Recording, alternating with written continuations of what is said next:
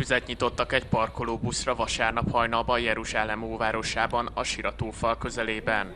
A támadásban 8 megsérültek, ketten közülük kritikus állapotban vannak. Egyelőre nem világos hány támadó volt. A rendőrség az incidens terrortámadás gyanújával kezeli és nagy erőkkel keresi a fegyvereseket.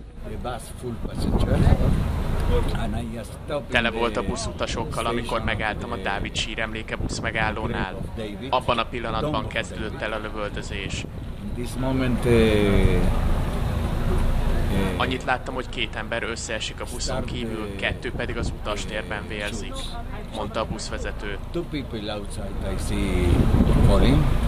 A merényletre egy héttel azután került sor, hogy Izrael támadást indított a gázai övezetben egy palesztin militáns szervezet ellen.